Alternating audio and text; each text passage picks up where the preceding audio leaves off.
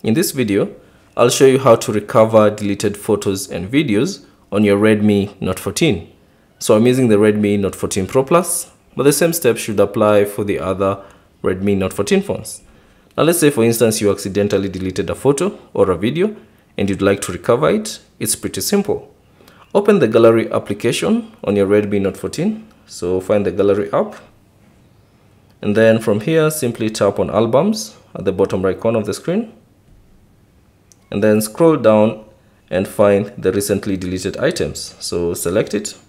And now you should see a list of all the deleted media be it photos or videos on your Redmi Note 14 now if you want to recover a particular image or a video simply find the video or image that you'd like. So let's say for instance if I want this image simply tap on it.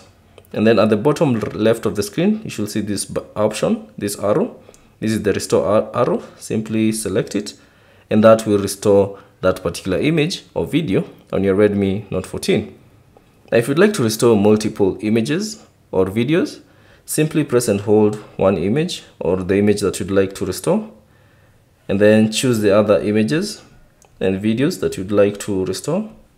Let's say if I want to restore all of those.